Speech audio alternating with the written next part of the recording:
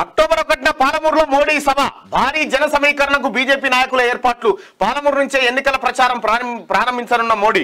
ఇక కాంగ్రెస్ బీఆర్ఎస్ ఆటలు తెలంగాణలో సాగవని జితేందర్ రెడ్డి చెప్తున్నటువంటి మాట. అక్టోబర్ ఒకటిన రాష్ట్రానికి ప్రధాని నరేంద్ర మోడీ రానున్నారు. పాలమూరు వేదికగా బీజేపీ నిర్వహించనున్న భారీ బహిరంగ సభ ద్వారా ఎన్నికల నగారా మోగించనున్నారు. మహబూబ్ నగర్ శివార్లోని భూత్పూర్ ఐటీఐ కాలేజ్ గ్రౌండ్లో మా మధ్యాహ్నం జరగనున్న సభలో ఆయన పాల్గొంటారు. కనీసం లక్ష మంది హాజరయ్యేలా బీజేపీ ఏర్పాట్లు చేస్తున్నది. సభ సక్సెస్ పై శనివారం మహబూబ్ నగర్ జిల్లా పార్టీ నాయకులతో రాష్ట్ర నేతలు జితేందర్ రెడ్డి ఆచారి సమావేశమయ్యారు. సభాస్థలిని పరిశీలించారు. ఏర్పాట్లను స్పీడప్ చేయాలని సూచించారు. మోదీ పర్యటనను సక్సెస్ చేద్దాం. జితేందర్ రెడ్డి. మహిళా రిజర్వేషన్ బిల్లును పార్లమెంట్ ఆమోదించిన తర్వాత మొదటి- మొదటిసారి పాలమూరుకు వస్తున్న ప్రధాని మోడీకి మహిళలతో భారీగా స్వాగతం పలికి అభినందనలు తెలుపుతామని బీజేపీ జాతీయ కార్యవర్గ సభ్యుడు మాజీ ఎంపీ జితేందర్ రెడ్డి అన్నారు. శనివారం ఆయన బీజేపీ మహబూబ్ నగర్ జిల్లా ఆఫీసులో మీడియాతో మాట్లాడారు.